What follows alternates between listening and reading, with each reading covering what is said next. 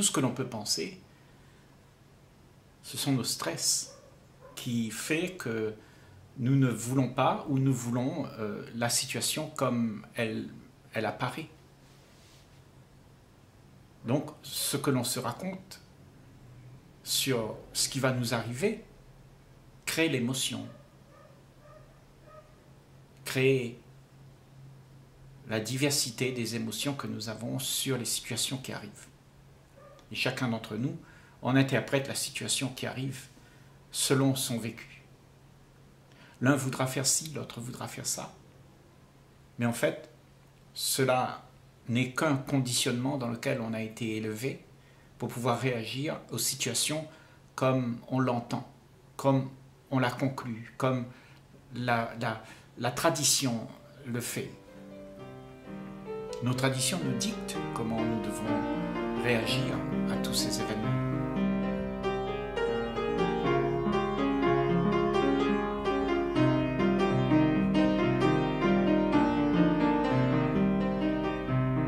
Les choses arrivent dans ce monde. Beaucoup de choses arrivent.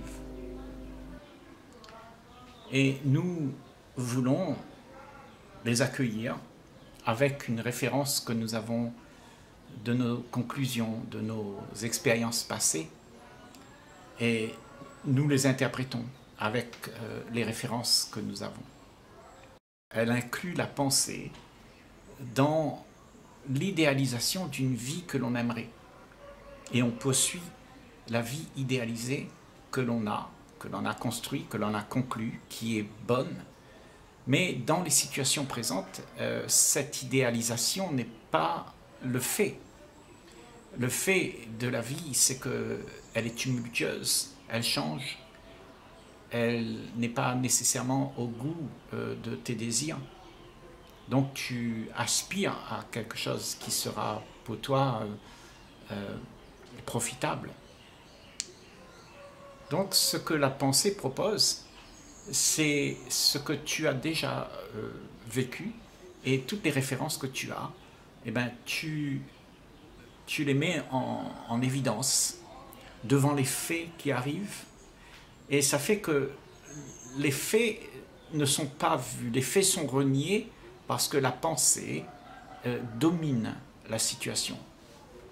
La pensée euh, dicte comment les choses devraient être, comment les choses devraient se passer et qu'est-ce qu'on devrait faire dans telle ou telle situation c'est parce que nous avons tous ces références de comment la vie devrait être. Nous avons fait des traditions, c'est rentré dans les mœurs de nos vies de chaque instant, et nous poursuivons l'existence ainsi en espérant que tout ce que nous avons remis sur le tapis puisse être un espoir pour un avenir meilleur. En fait, on poursuit tout le temps quelque chose qui n'est pas là et on se donne l'espoir de l'attraper. On est déçu. On vit dans un monde de déception, d'illusion, et nous courons partout pour pouvoir trouver cette idéalisation que nous avons prévue, mais elle n'arrive que euh, dans l'insatisfaction. Elle est ce que nous avons acquis en fait quand nous avons amassé les choses que l'on aimerait avoir les situations que l'on aimerait se faire, euh, la vie que l'on aimerait se faire, et l'illusion de ce que l'on se propose. Ça fait que on ne vit pas la vie. On vit ce que euh, la pensée dicte, c'est-à-dire notre passé. C'est insidieux parce que chacun d'entre nous, euh, c'est ce qui se passe en soi et on renie le fait vraiment, on préfère se fier sur ce qu'on a appris plutôt que sur ce qui arrive, sur l'évidence des faits qui arrivent. Donc la pensée, elle fabrique euh, l'histoire, l'illusion dans laquelle tu aimerais, tu te donnes le désir, tu te fais la promesse d'atteindre ce que tu aimerais avoir. Mais quand tu as atteint cela, alors tu t'aperçois qu'il y a une, supercherie.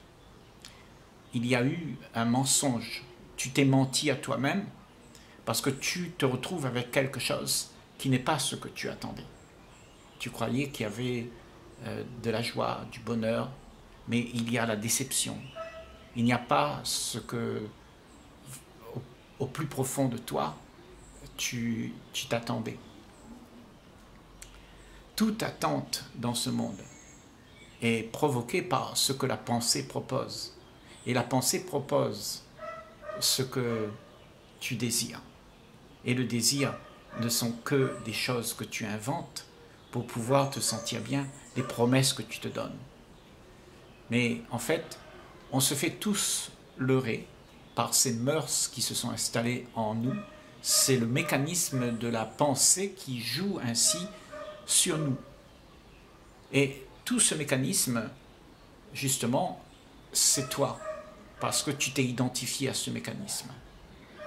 Et quand on parle de la connaissance de soi, c'est ce mécanisme qu'il faut aller voir, toute la difficulté de, son, mouvement euh, ambigu où tu te trompes toi-même, parce qu'elle te trompe. Comme tu es identifié à elle, alors elle te mène euh, en bateau, parce qu'elle n'est pas toi, mais elle te dicte comment tu dois être. Alors tu tu, es, tu ne sais pas qui tu es. Parce que c'est la pensée qui prend les commandes. Et quelqu'un qui, qui a des conclusions, qui est certain, qui est rassuré, qui a toute sa petite vie bien rangée, avec son argent, sa voiture, son, toute la, panoplie de quelqu'un soi-disant heureux qui a réussi sa vie. Alors celui-là, il est il est esclave de ses propres désirs, de ce qu'il veut, de la promesse qu'il s'est fait à lui-même. Il est esclave de ça. Et il sera difficile pour lui de s'en débarrasser. Parce que plus tu, tu, voudrais avoir la réussite de, la vie joyeuse et heureuse que tu cherches à avoir, plus tu cherches cela, alors euh, ce que tu auras, ce ne sera que ton désir. Il n'y a pas euh, de vie qui doit venir un jour. Il n'y a pas quelque chose qui viendra nous sauver chacun. Ça n'existe pas, ça n'existe que dans nos têtes. C'est parce nous avons ça parce que nous vivons une vie monotone et nous cherchons euh, quelque chose qui puisse nous égayer. Et en fait, ça n'arrive pas parce que c'est des choses qui n'existent pas. Une vie autre que celle qui existe là, maintenant, n'existe pas. La vie, elle est seulement celle que tu as, celle que tu peux euh, manifester d'instant en instant, mais pas celle que tu as déjà vécue et puis que tu la ramènes dans le présent pour pouvoir la vivre. C'est impossible. Donc ta tête te joue des tours. Tout ce que tu te promets te joue des tours.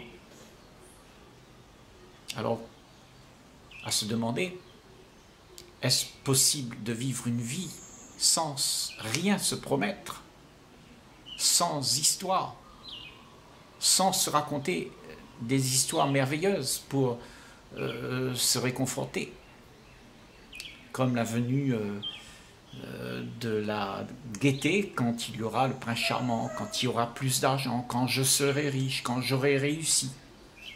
Tout ça, ce sont des leurs que la pensée, nous, on se donne de poursuivre pour pouvoir avoir euh, la gaieté qui efface la monotonie de cette vie que nous avons, qui se répète tout le temps de la même manière. Une vie qui se répète tout le temps, c'est une vie monotone. Il n'y a pas euh, d'imprévu, il n'y a pas quelque chose qui vient tout d'un coup émerveiller l'esprit. Tout est déjà su, tout est déjà raconté, tout est déjà fait, tout est déjà euh, vécu et on les répète tout simplement. Et la vie, justement, en elle-même n'est pas ce qu'on peut répéter. La vie, c'est quelque chose qui se meut. Dans l'instant où tu respires, elle est nouvelle et elle n'a rien à voir avec ce que le passé prévoit. Tout ce que le passé prévoit est fini, il n'y en a plus. La seule chose que tu peux vivre, c'est l'émergence de qui tu es au moment où tu le vis. Et pour faire cela, eh ben, tu dois abandonner euh, ce que tu aimerais être. Bien sûr, tous tes désirs, tout, tout ce que tu penses euh, acquérir, tout ce que tu penses vouloir amasser pour ton bien-être, alors tout ça doit être mis de côté. En fait, la vie que tu aimerais doit mourir pour pouvoir accueillir la vie qui est vraie. Il y a quelque chose qui doit mourir à chaque instant dans ta vie. Tout ce que tu fais d'instant en instant, ben, tu dois l'oublier pour pouvoir toujours accueillir ce qui est neuf. Et c'est une, constante affaire de, d'attachement et qui, qui, qui libère à chaque fois euh, ce qu'il a pris. On s'attache, on libère, mais de suite, pas jusqu'à ce que ça te crée des émotions que tu ne veux plus les abandonner. Parce que ce que tu gardes te donne un sentiment de réconfort et tu n'es plus dans la possibilité d'accueillir ce qui est neuf. Et ce qui est neuf est toujours vivifiant. Peut-être pas réconfortant, mais vivifiant. Et c'est la vie qui nous propose cela. Si tu cherches ce qui est réconfortant, alors tu, tu vas t'endormir, tu vas trouver une zone de confort et tu vas t'installer dedans. Tu vas amasser tes petits péchés mignons, tu vas les répéter et tu auras des habitudes et des trains-trains et tout ça, ça, ça va se répéter et tu vas te sentir dans une zone de confort où tout se répète et rien ne te dérange. Pourtant, pourtant, tout te dérangera, que tu aimes ou pas. La vie est faite ainsi. La vie dérangera toutes les situations que tu te promets à toi-même de faire naître pour ton petit confort. Parce que dans cette activité, il y a justement tout ce qui fait que tu n'arrives pas à, à mettre en place ce que tu voudrais faire pour toi. Regarde combien de désirs as-tu eu et combien de, de, choses que tu as pu réaliser. Parce que justement, tout ce qui doit être réalisé te demande beaucoup de travail, beaucoup d'efforts, beaucoup de, tracasseries pour mettre en place tout ça. Et c'est ce qui semble être le destin de l'humanité. Et nous croyons que tout ce que nous avons acquéri comme, comme euh, plaisir est quelque chose à garder et à continuer à répéter. Mais à ce moment-là, on ne vit pas la vie. On vit, on vit ce que l'on aimerait. On vit une vie que l'on a mis en place et qu'on aimerait la faire durer. Mais cette vie, c'est ce que tu penses ce que tu penses n'est pas la vie. Ce que tu penses, ce sont des pensées qui se sont euh,